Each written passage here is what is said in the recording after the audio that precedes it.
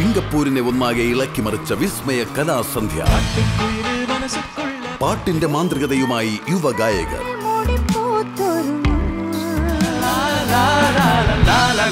ആഘോഷത്തിന്റെ അതിഗംഭീര വിരുന്നൊരുക്കി. Singapore Onam night two thousand nineteen. ഞായറാഴ്ച വൈകുന്നേരം അഞ്ചു മണി മുതൽ.